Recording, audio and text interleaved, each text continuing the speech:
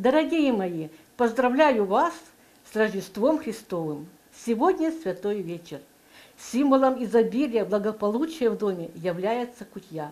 Я сварила кутью из пшеницы, а также добавила туда изюм, курагу, мак, грецкие орехи, мед. Душу и тело очищает узвар. Он символизирует живую воду. Сварила я узвар, естественно, из сухофруктов. Не зря наши мужчины любят пирожки и пироги. Они символизируют мужскую энергию. Я испекла пирожки, вернее, пожарила их на растительном масле. Пирожки постные, начинка картошечка с лучком. А как же постный стол без винегрета?